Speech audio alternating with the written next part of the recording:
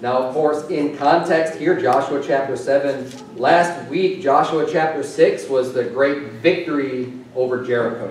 The walls of Jericho come down. They come as a city roundabout. Great chapter, great week. So here we are now. They're basically starting into their next battle. So now they're going on to the next city to destroy, and that is Ai. But at the last battle, unbeknownst to Joshua, someone had taken of the accursed thing that they were not supposed to take. Now, let's read here in verse number 1. The Bible says, But the children of Israel, so this but, that's a conjunction, it's conjoining, you know, chapter 6 with chapter 7. As we know, maybe you don't know, but the, the Bible wasn't written with chapter divisions in it. That came later. When God gave His Word, you know, like the book of Joshua, this is an entire, this entire book. And the, the the divisions that we have now with chapters and verses, they were put in there, I think, for very good reason. I don't think we need to remove them. I think it's very useful to refer to passages and things like that. But they're put in there for as a help to be able to reference things. But the, the way that it's actually written is you just keep reading. You have to stop. Obviously, we have stopping points every week. There's only so much material we're going to cover. But And that's usually why I like to bring everything into context, because as we're going through the whole book of Joshua, it's important to know where we're at in the story, right? And where we're at is that they just finished defeating Jericho. And even though they just finished defeating Jericho, we see in verse number 1 of chapter 7, it says, But the children of Israel committed a trespass in the accursed thing, for Achan, the son of Carmi, the son of Zabdi, the son of Zerah the tribe of Judah, took of the accursed thing, and the anger of the Lord was kindled against the children of Israel. Now, the first point I want to make about this, it's a very important point, and we need to remember this regularly, is that when you sin, no matter what this is, when you sin against God, there's always going to be consequences that affect other people. You know, even when you think that this sin is it only has to do with me, I'm only doing this, you're going to bring bad consequences, unintended consequences against other people that you never would have thought were going to happen. This example, Achan, what does he do? He ends up taking, and we'll get to this in a little bit later, we'll see the exact thing. He takes a garment, he takes some silver, he takes some gold, and he's probably thinking in his mind, well, what's the big deal? I mean, everything's being destroyed anyways. This doesn't hurt anyone else. I'm just going to take this. I'm going to put in my tent. I want this stuff for me. Right? For me. This is just for me. No one else is involved. Were all the children of Israel now had knowledge of this and knew what he was doing? No, he hid it in his tent. They didn't know that he had done that. But, but who was the Lord God angry with? Look at verse number 1 again. It says, well, it says in the first few words, but the children of Israel committed a trespass.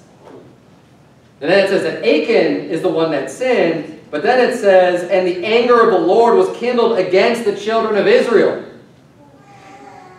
One man, the result of one man's sin is bringing anger and wrath against the whole group.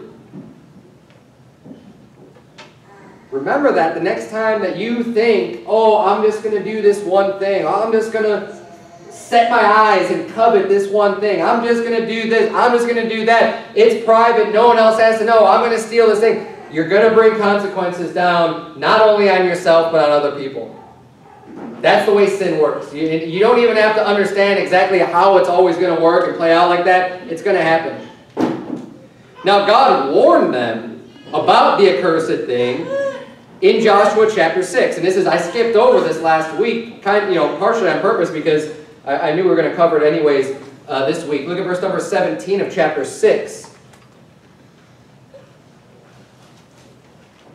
Joshua chapter 6, verse 17, the Bible says, And the city shall be accursed, even it and all that are therein. So God is placing a curse on the whole city of Jericho.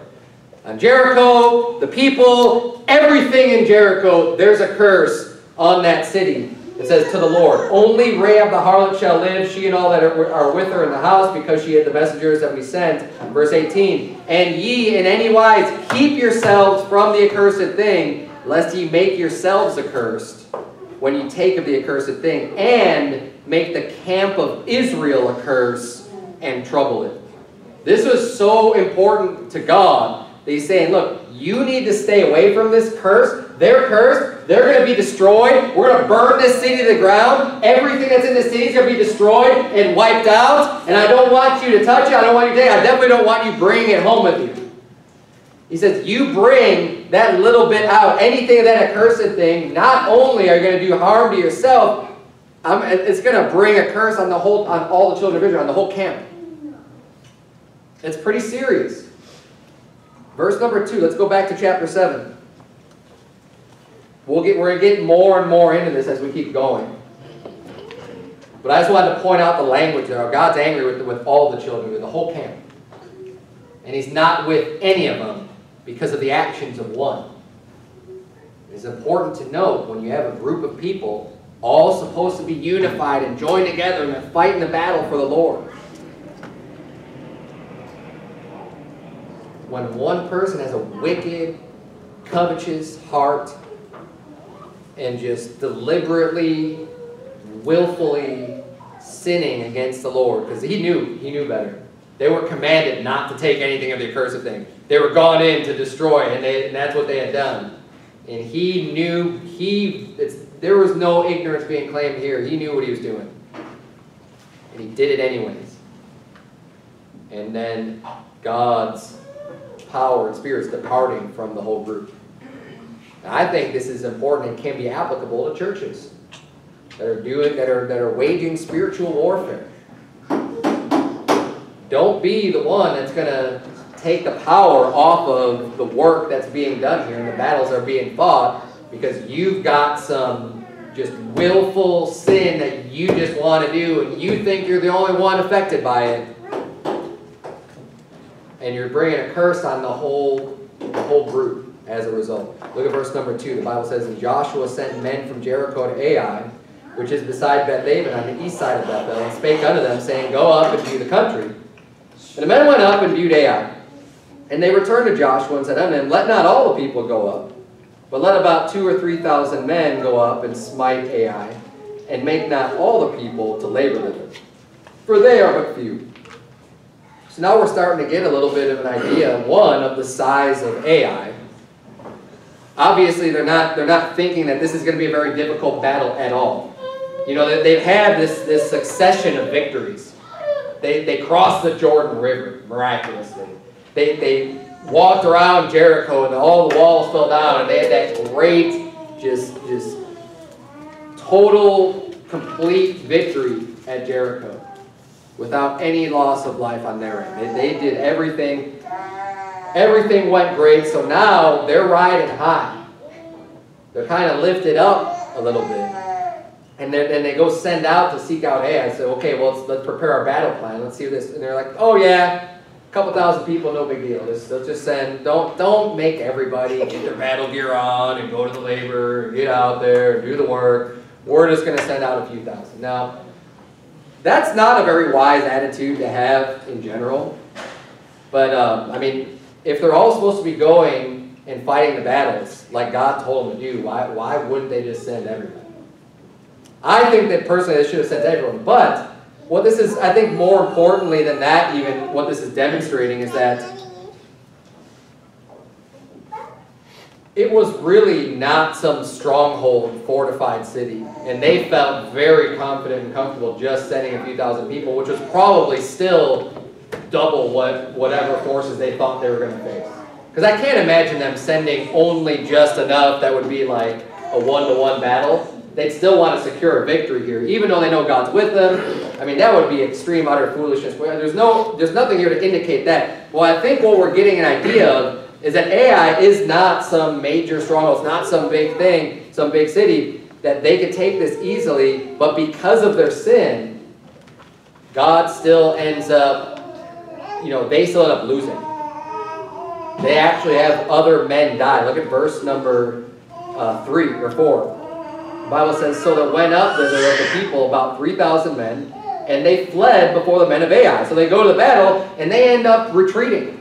They end up getting put to the worst. Verse number 5 says, The men of Ai smote them about thirty and six men. For they chased them from before the gate, even unto Shebarim, and smote them in the going down. Wherefore the hearts of the people melted and became as water. so quickly things can change. You go from having God behind you and for you and fighting your battles for you to just now all of a sudden, and they're thinking, oh, only send two, 3,000 people at the most, no big deal. Now their heart's melted. Now they're really brought down low. They're thinking, what in the world, you know, they put us, you know, they beat us and they killed some of us. Like, what is going on here? And Joshua just has no clue what's going on. And, and he's perplexed by all of this. But look at verse number 6 here. It says, And Joshua rent his clothes and fell down, fell to the earth upon his face before the ark of the Lord until the eventide, he and the elders of Israel, and put dust upon their heads. And Joshua said, Alas, O Lord God, wherefore hast thou at all brought this people over Jordan to deliver us into the hand of the Amorites to destroy us? Would to God we had been content and dwelt on the other side Jordan. Now, where have we heard a phrase very similar to that? When the children of Israel saying, Would to God we would have been content in Egypt. Would to God we would have been content here. And every time it's like, you know, it's, it's interesting how this happens. How they fail to look at their own selves as the cause of the problem. Because he's going to God, thinking like, God, why did you even bring us out here? God, why did you bring us in the, in the wilderness? Just to kill us here? Why did you free us from the Egyptians? Just so we could die of starvation here? So we could die of thirst here? So you could kill us in the wilderness here? Why are you doing all this, God? And it's like, you wouldn't have any of these problems if you would get yourself right. If you sanctify yourselves and get the sin out of your lives. Look, it's not God that's causing you to lose. I mean, it is God in a sense, but they're the cause of it. God's not for them anymore. Why? Because they've sinned. God already gave them the fair warning. In chapter 6, he says, look, don't take of the accursed thing, otherwise you're going to be accursed. And, and really, I blame Joshua in this sense that, you know, instead of just thinking we can do no wrong, and this is, this is a serious concern. You may be getting victory after victory spiritually in your life, so much to where you become just, you forget about or you don't think about, hey, maybe there's something else going on. Maybe things are going great for you spiritually in your household. And then it's like all of a sudden the Spirit of God just departed from you and things aren't going nearly as, as well as you think. Maybe it's the first thing you ought to do is take a step back and look and analyze your own house and your own self. And see, well, where, where are we coming up short? Start at your own house and look and look in. Start at your own self in your own house and look out from there. And that will help you to identify problems. Now, obviously, there are things that can happen, bad things. I'm not saying that every single bad thing that happens in your life is a result of your own sin. I'm not teaching that. But I am saying this, that, that when bad things do happen, I'm going to look first just, hey, is my house right? Am I right with God? So, you know, am I like Achan, just just hiding something secretly in my tent, and now you know God's not for me? So what's going on? Uh, or you know, I'm, I'm, not. You know, I've I've had to do this from time to time as well, even just when it comes to going out soul winning. I'm not winning anyone to Christ. Well, the gospel still has the same power the gospel has, right? I don't think God's slacking on his part of the on his part of the deal. Lord's not willing that any should perish, but that all should come to repentance. So if I'm preaching the gospel, preaching the gospel, preaching the gospel, preaching the gospel, preaching the gospel, preaching the gospel, and nobody's getting saved, you know, start looking at myself. Maybe God's departed for some reason. Start looking at my family, look at my household. What is it that, that the power of God has, why is this happening? What's going on here? Why are we not getting the spiritual victories when we're getting involved in the fight? That's what's going on here. Now let's uh, let's keep reading.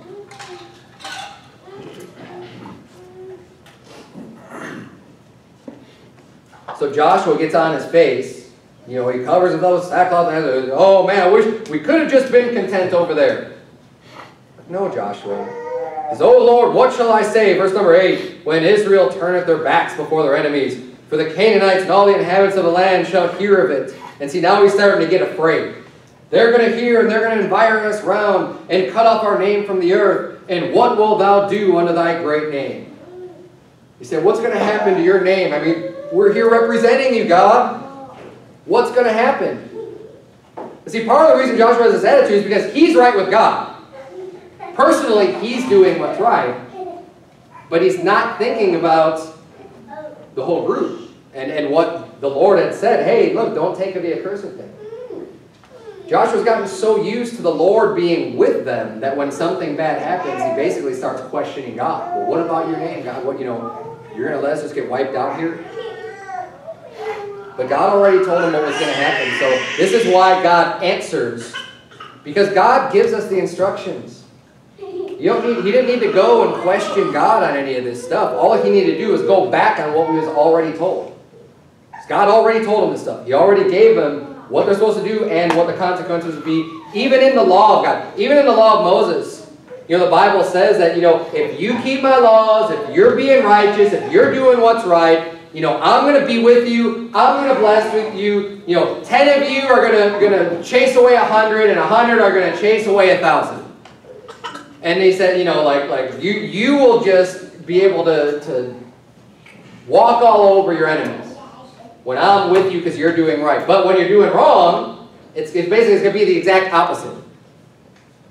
Where they're going to put fear into you, you're going to be running away. You're not going to be able to stand before your enemies because you're not right with God. It's a very basic general principle in the Bible. And again, these have, this has nothing to do with salvation. This just has to do with your walk with God and God's power being with you.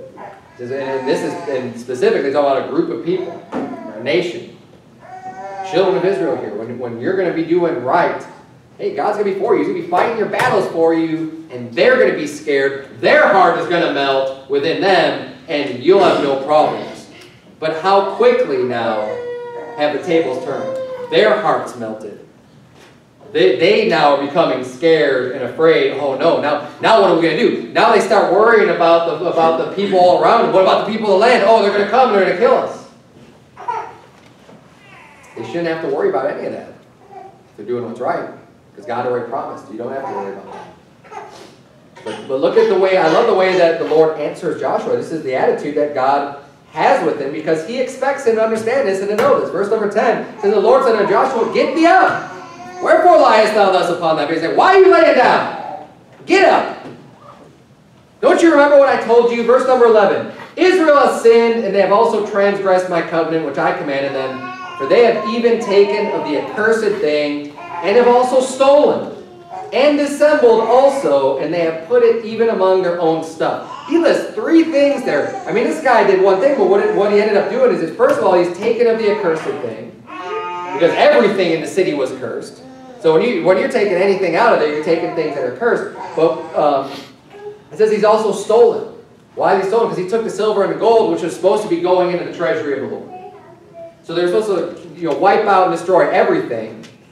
Now he took one of the, like a garment, basically a piece of clothing, and silver and gold. So he took the accursed thing, he's stolen from God, because that money was supposed to be dedicated to the Lord.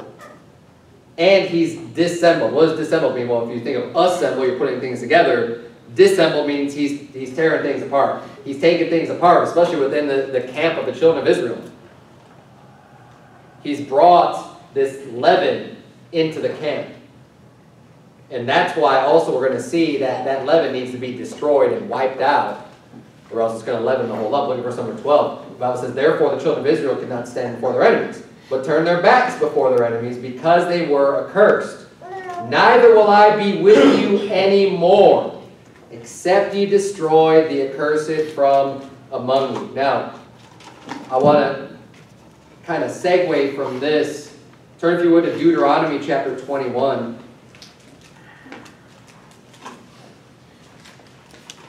Because we see the accursed thing, we see Jericho was accursed, we see that, look, I'm not going to be with you anymore, and now you've become accursed, and you need to take the accursed from among you and get it out. Get rid of it.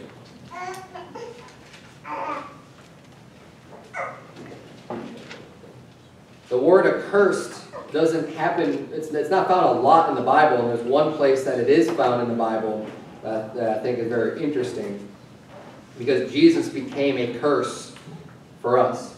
And there's a little bit of a symbolic meaning here, I believe, with the, with the sin of Achan and getting that, that accursed thing out. and how Jesus became a curse for us. Deuteronomy 21, look at verse number 22. The Bible says, And if a man have committed a sin worthy of death, and to be, to be put to death, and thou hang him on a tree, his body shall not remain all night upon the tree, but thou shalt in any wise bury him that day. For he that is hanged is accursed of God, that thy land be not defiled, which the Lord thy God giveth thee for an inheritance. Now, that, that parenthetical statement there, he that is hanged is a curse of God. It's not about hanging someone on a tree. Well, the Bible says that Jesus Christ bare our sins on the tree. Right? When he was crucified on the cross, he was hanged up on that cross. Jesus was accursed for our sakes. Turn, if you would, to, uh, well, you don't have to turn, turn, if you go to Hebrews 13. Matthew 27, very famous verse, you know, Jesus said, Eli, Eli, lama sabachthani. That is to say, my God, my God, why hast thou forsaken me? When Jesus Christ bare the sins of the whole world in his body, he became accursed. One, he was hanging on a tree. According to God's law, he's accursed by just being crucified like that and being hung on the tree to die. But he also bare the sins of the world, bearing the curse of our sin to where God forsakes him because Jesus became accursed. He was forsaken. He was left. He did all that so that we don't have to be forsaken or accursed because of our sin. Because if we die in our sins, we are accursed. We will be forsaken and cast into a lake of fire. Now, I say that we as a generic term, meaning like all of mankind in general. Obviously, I'm not talking about us as believers in a church, because obviously, as a believer, we don't have to worry about being accursed. Because we have promises like the Bible says in Hebrews 13, verse number 5, let your conversation be without covetousness and be content with such things as you have, for he had said, I will never leave thee nor forsake thee.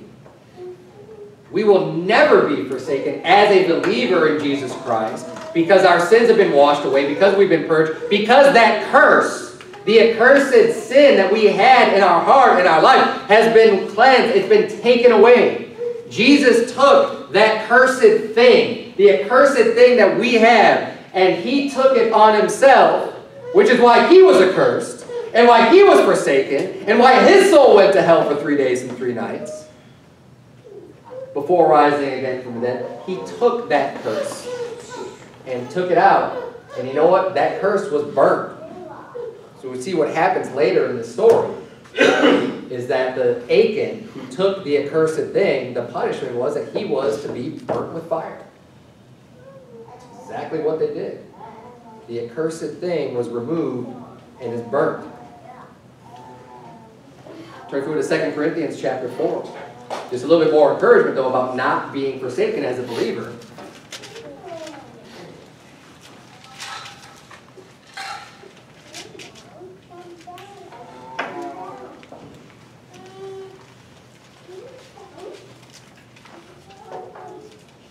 The reason why I'm going into this is just to give a little bit more appreciation and respect for what Jesus did for us.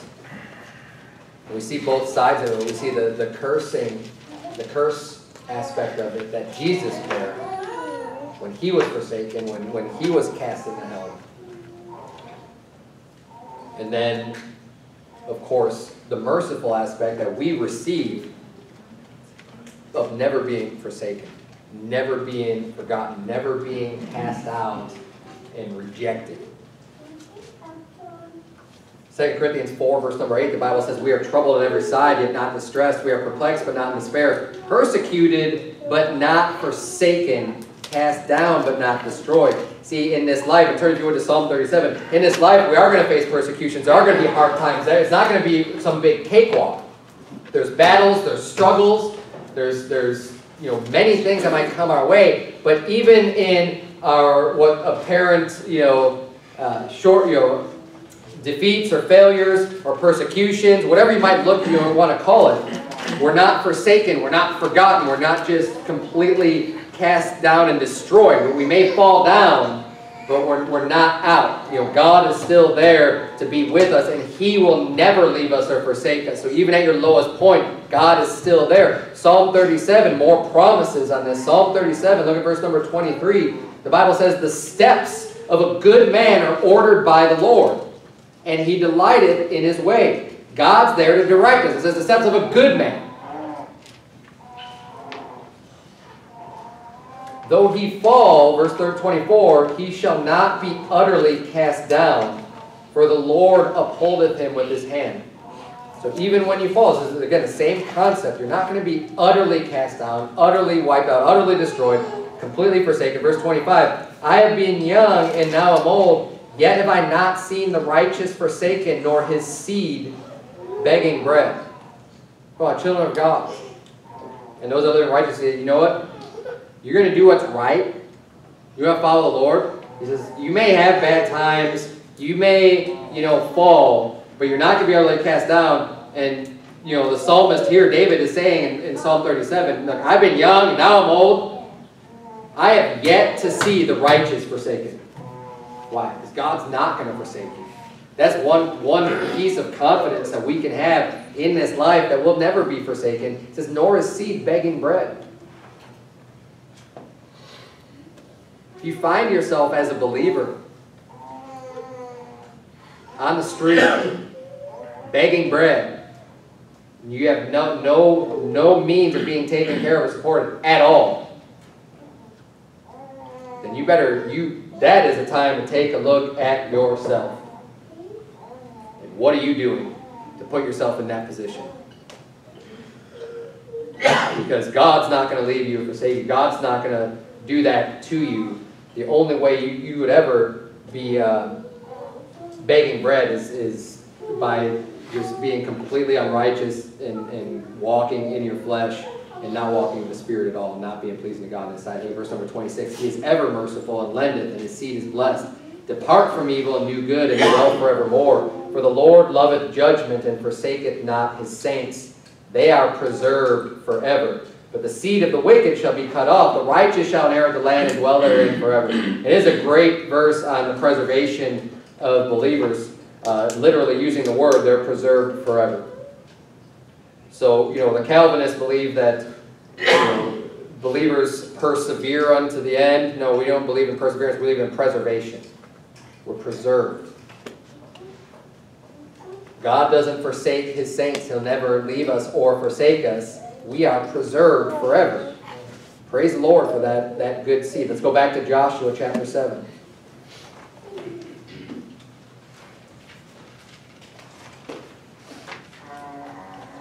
Praise God for Jesus taking that curse from among us.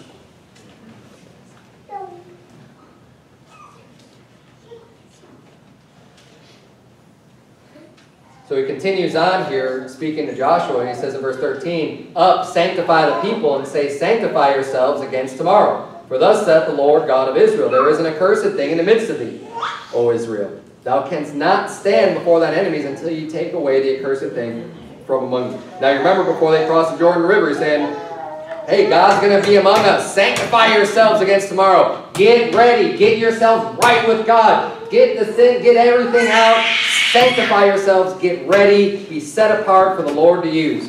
And I preached on that when we went over that a couple weeks ago. And he's now saying the same exact thing. Look, you've got to get rid of this accursed thing. Get the wickedness out. And then I'll, because I'm going to be among you. And then I'll be able to use you and do a lot more. Now, it's always a good idea to analyze yourself and your household. And I think this is something we should be doing periodically. Whether or not you see things going on where you feel like God's not really working with you, we should be on a regular basis just kind of keeping tabs on ourselves and just doing inventory on your household and be like, you know, is there is there any accursed any accursed things within my home? Am I letting idolatry creep in? Am I letting you know, uh, some other type of wickedness creep in? Am I allowing, you know, junk to come through my computer or through my television set or through whatever? Am I, am I letting accursed things into my tent, into my house? Because what did Achan do? He took the accursed thing and, and he dug underneath his house and he kept it hidden in his house. That's a, that's a, that's a secret, just a secret sin that he had. Got that hidden at home. And oh, how easy it is to have secret sins just hidden at home. Who's going to know? I mean, it's your house, your, you know, your space. You know who's going to know? God's going to know. Children of Israel didn't know who, who'd done it. They got God's help in that and, and, and picking them out and finding out who the person was.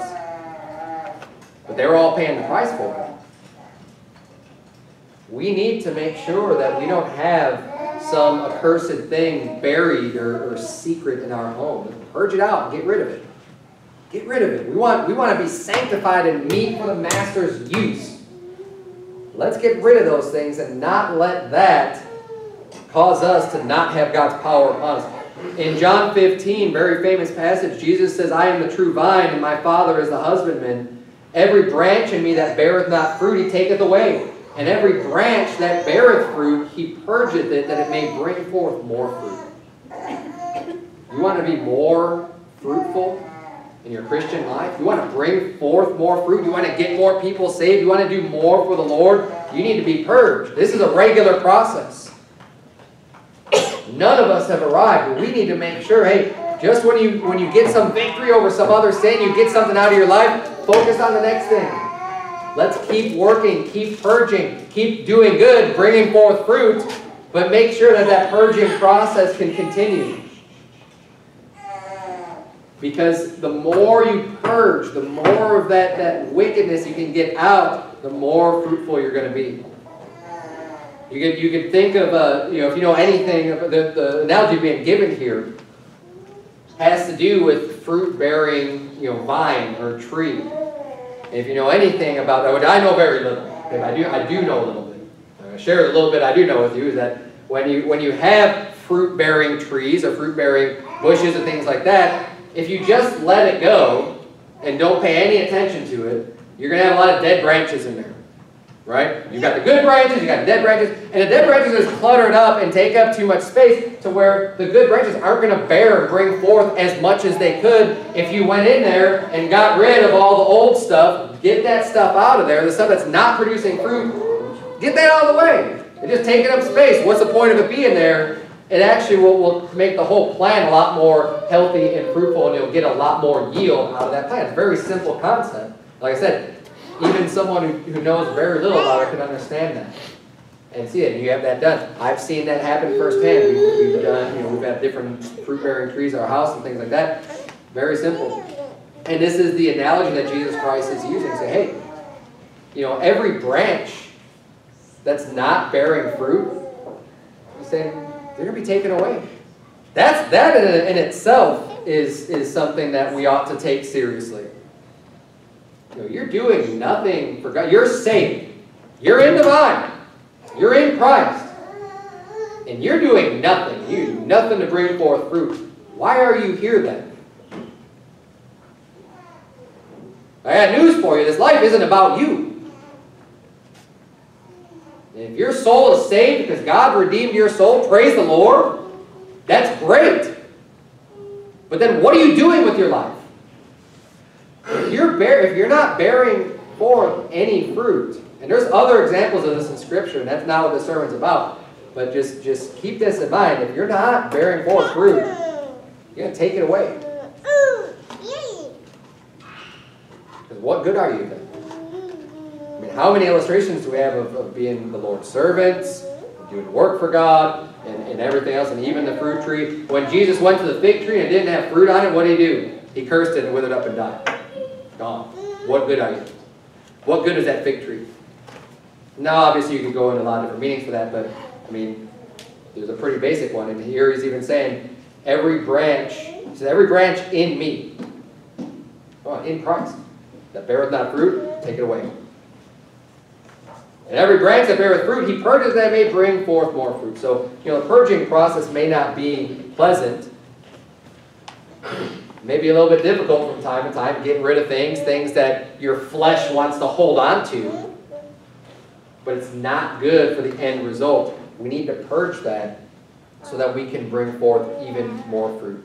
Uh, Joshua chapter 7, if you're not there already, uh, we're going to keep reading here. Joshua chapter 7, verse number 14, In the morning, therefore, you shall be brought according to your tribes, and it shall be that the tribe which the Lord taketh shall come according to the families thereof, and the family which the Lord shall take shall come by households, and the household which the Lord shall take shall come man by man, and it shall be that he that is taken with the accursed thing shall be burnt with fire. He and all that he hath, because he hath transgressed the covenant of the Lord, and because he hath wrought folly in Israel. So basically, he's telling them here, this is the way you're going to do it. They're going to start off at the top level with just you know the, the tribes, the heads of the tribes are going to come before them, and they're going to choose, okay, the tribe of Judah, and then the heads of those, you know, as you kind of go down the descendants, it's not every single person showing up. They're narrowing it down to get to the family level to where they're going to say, okay, Achan's the one that did it. And the Lord's directing him, them and all this. We don't know exactly how this, this process is taking place. We just know that God's directing them because they find the right person. And it's not like they're guessing between a bunch of people. They're just like, okay, Achan, you know, you did it. Fess up now, give God the glory. And he does, and he, and he admits it. He did it. He's like, yep, it was me. They go check it out, and they find exactly what he had said, and it was in his house. Now it says here, it says that, that him and all that he hath is to be burnt. Now, I mentioned before how Jesus Christ, you know, took away that accursed thing from us, and it is very symbolic of that. But also just in the sense that the judgment of, that came against Jericho was that Jericho was going to be burnt. So in taking of the accursed thing to himself, you know, the judgment on the accursed thing was it's supposed to be burnt with fire. Now he's brought that curse on himself, and that's why they do it. So normally, there's very, very few places where you'll see a judgment of people being burnt with fire. It does exist in God's law. But usually the typical way where people are going to be executed if there's going to be like a death sentence imposed is that they're going to be stoned to stone, which is a different thing. Again, but the, the being burnt with fire is something that is very unique and we ought to look at it very closely because of the other ramifications, the other symbolism that you can you can learn about that. So uh, in Joshua 6.24, the Bible says they burnt the city with fire and all that was therein. Only the silver and the gold, the vessels of brass and iron they put in the treasury of the house of the Lord. That was the judgment against Jericho. Um, I'm going to skip over just the parts where they're calling each of the heads of the household. Uh, we, don't, we don't really need to read through all of that again. But this is interesting. Look at verse number 20. The Bible says, And Achan answered Joshua and said, Indeed, I have sinned against the Lord God of Israel, and thus and thus have I done. When I saw the spoils, a goodly Babylonish garment, and 200 shekels of silver, and a wedge of gold of 50 shekels weight, then I coveted them and took them. And behold, they are hid in the earth in the midst of my tent, and the silver under it. So he explains what happened. Now, well, just on a side note here, notice he says he saw a goodly Babylonish garment. Remember from last week, the ties between Jericho and Babylon. I think it's very interesting that the garment that he chose was a Babylonish garment, like from Babylon. So that just tells you anything that they were wearing. They were just like Babylon in Jericho. I mean, this thing that he stole was a Babylonish garment. So I, I thought that was kind of cool because I missed that when I was preparing last week, that this is even brought up again, just that, that further tying Jericho with Babylon by, by mentioning that this is Babylonish garment that he's drawn to, that he steals, in addition to the silver and the gold that he got. But notice what happens here, because this is, again, this is a very, a very um, standard protocol for sin. We need to be aware of how these sin, how this sin works. Notice it says, he saw among the spoils. First he look, it's by looking. Then he coveted them. And then he took them. That's the process of, of, of this sin that cost Achan his life. He sees, he covets, he takes. Now, coveting in itself is a sin. But the sin that killed him is when he actually acted on that covetousness and took it, and took the accursed thing and took it. But see, until he coveted, he wouldn't have taken. And until he looked, he wouldn't have coveted. This is a very important point that, that, that we can't look past. Now, covetousness comes in all different forms. In this case, it happens to be with money and you know and garments. But whatever it is, it's something that you can't have. Coveting is literally just when you want something that you can't have. There's many reasons why you can't have it. money, having money in and of itself isn't wicked or sinful or, or anything wrong. To just possess money, to possess silver, to possess gold. But the reason why this was covetousness is because God said, you can't have that. That's the Lord's. So when he wants something he can't have because God said no, that's covetousness right there. He could have had, uh, you know, the, the money from other cities, which they do end up taking. They do end up getting spoil from other places. Other places they, they defeat and they destroy. They take the, the spoils unto themselves. But because this is, belongs to the Lord, now that's covetousness. We can apply this to the tithe. The tithe, the first 10%, is the Lord's. And that's the way the Bible talks about this, is that the, the first 10% of your increase, that belongs to God. Not yours. That belongs to Him. And you're saying you're stealing when you when you take that. So if you're like, man, I just wish I didn't have to tithe. I wish I didn't have to give, you that's already a, a, a covetous attitude to have. When you're already thinking, oh man, you're getting disgruntled about giving that, you're, you're covetous over what something that belongs to the Lord. Now, I don't bring this up very often, but it just fits perfectly. And, you know, I'm glad that I don't feel like I have to. I mean, this, church is great with people giving anyways, but this is what the book teaches, so I'm going to teach it regardless of whether, whether it's a problem or not in our church. The covetousness. But I want to take this on another angle. Because covetousness isn't just about money, it also has to do with, and probably more commonly, maybe not more commonly, I'm not sure, but probably more commonly with men coveting after women. Now what we see here, it's the same formula is going to apply. You're going to see, you're going to covet, and then you're going to take. See, people don't commit adultery just you walk out the door one day and it's like you're walking into someone else's house, you just commit adultery. It doesn't, doesn't happen like that. It happens a lot sooner. There's, there's other things that take place in between. First, you have to see. You're just, you're, you're seeing. Now, we can't always control the things that come in front of our eyeballs. When you're walking out in the world, you don't have control over that. But you know what you do have control over? How long you decide to look and gaze upon whatever does come in front of your eyes. And I know in, in, in Arizona, with the heat, I imagine it's got to be the same right here. I've been out here long enough to really, to really notice. But in Phoenix, in the summertime, you're going to have a lot of scantily clad people out in public because it's hot outside. And they just take off a lot of clothing. Now, when you live in the world, you can't do anything about that. It's going to happen. But you know what you can control is how long you're going to feast your eyes on that. If you see something, someone immodestly dressed, and someone that may be attractive and may appeal to your flesh, the choice is yours whether or not you're going to keep looking or whether you're going to look away. You can't control the first, the first thing that happens. But you control everything else that happens after that. We, can, we, we ought to be like Job. Job says in Job 31.1, I made a covenant with mine eyes.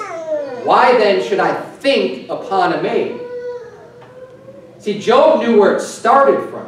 Because when, when you realize that just looking, you know, people have, the, the world has a stupid attitude of, oh, well, I can look at the menu, I just can't order, or whatever. Just because they want to indulge their eyes and their flesh on something that they shouldn't have and covet after women or after men that they can't have because they're married already, or the other person's married, and you, they just want to feast and indulge and look upon. Well, you know what? When you do that, when you start looking on and just allow your eyes to just, just gaze on something that you shouldn't anyways, it's going to cause your heart to covet it. Because you're looking at it, looking at it, looking at it, well, you're going to want it more. It's like, think about Lot. Lot pitched his tent towards Sodom. He didn't start off in Sodom. He just, he just started off looking at it every day. Wake up in the morning, goes outside. Hey, look, there's Sodom. There's the well-watered plains. There's that great city. There's all that financial success and, and, and all the things that are going on in Sodom. And before you know it, he's inside. So he goes from seeing to being apart. Seeing to coveting to then taking. That's what Achan did. And we got to be careful, especially the men. Now, look, this, this happens with women and men alike. But I think it's way more prevalent in men than it is with women. Men, to, to, to see you know, an attractive person and to then continue to look, that's where it ought to stop. Because once you continue to look, that's when the covetousness is going to set in. And you could say, yeah, but that's where it's going to stop. Well, you know what? The very next step, if you allow yourself to look and covet, you are one step away from taking. one step away. The wisdom of Job says, I made a covenant with my eyes. How am I even going to think upon a maid? There's no way he's committing adultery. Why? Because he's not even letting it get to the covetousness part. Why? Because he made a covenant with his eyes. Men, you need to today make the covenant with your eyes and say, when something comes across my path, I'm not going to continue to look at it. I'm going to look the other way. I'm going to make a promise so, so, so that I don't think upon a maid. So I'm not thinking about someone else. So that my heart can stay pure. So I'm not going to be covetous and, and you know, hurt my wife and hurt my spouse. Because guess what? Your wife's going to notice those things too. Let's say you don't end up taking, you don't actually commit the grievous sin of adultery by actually taking, which by the way, according to the Bible, should cost you your life. Just like this sin of Achan, when he actually took and acted on his covetousness, it cost him his life. When you commit the sin of adultery, it ought to cost you your life. It is that grievous, that serious of a sin. I don't know why in the world you want to let yourself get so close to something so serious that you're going to let yourself feast your eyes and covet. And just toe that line and say, well, I'm not committing adultery. Well, you are in your heart, first of all. But second of all, why is it really worth it to let your mind wander into sin for something that's going to end up destroying your life? It's not worth it. Let's learn from Achan. Because this story is in the Bible for a reason. And this is applicable to so many situations. You see, you covet, you take. that's what people do when they steal. People who are poor, don't have a lot of money, they see something someone else has. Oh, I want that. Oh, and they're thinking about it. They see it and, oh man, I want this, I want this, I want it. Pretty soon, taking it.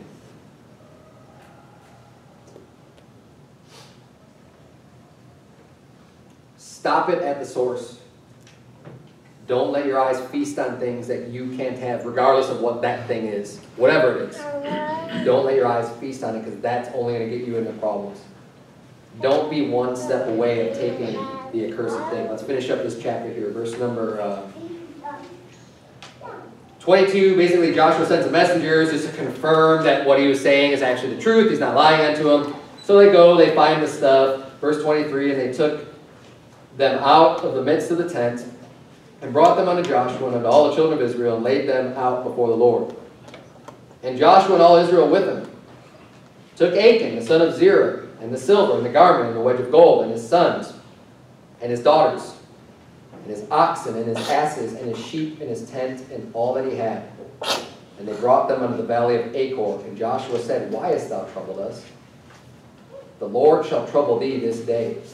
And all Israel stoned them with stones, and burned them with fire, after they had stoned them with stones. And they raised over him a great heap of stones unto this day. So the Lord turned from the fierceness of his anger, wherefore the name of that place was called the Valley of Achor to this day. Now you may be sitting here saying, well, wow, you know, that's that's pretty serious. All the people came and just stoned him with stones. This guy Acorn, Just for stealing. You might think that's kind of harsh. But you know what? It's not, because you're not getting the full picture. Because of that sin, 36 other people lost their lives. What about those families? What about those people who were actually living righteously and doing what's right? It was just Achor, the one that sinned. When we put the whole thing in perspective, it's a little bit easier to see how you can bring judgment upon such a wicked act and a wicked person like that to go and just deliberately disobey God, go against Him, knowing full well that the Lord said, hey, don't take the accursed thing or else there's going to be a curse on the children of Israel. They were all given that commandment. That wasn't just secret knowledge.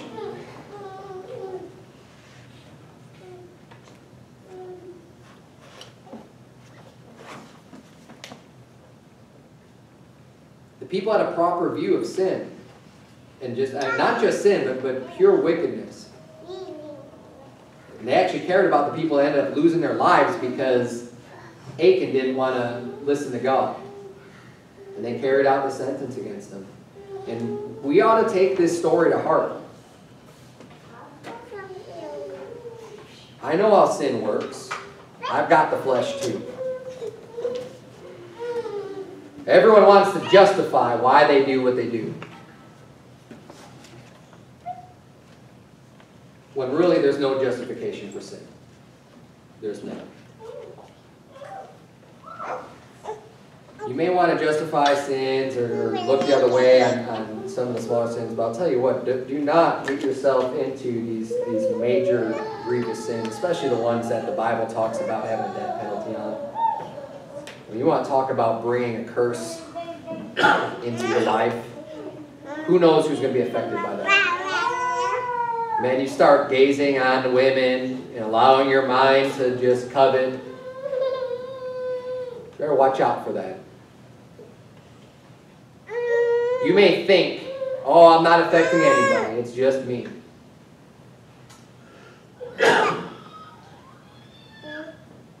That's not the case. Someone's going to be affected by it, whether you understand who it's going to be or not. Especially when, when you're, you're bringing some accursed thing in your heart, some covetousness, you're one step away from acting on that. You're just going to bring destruction. Learn from Achan.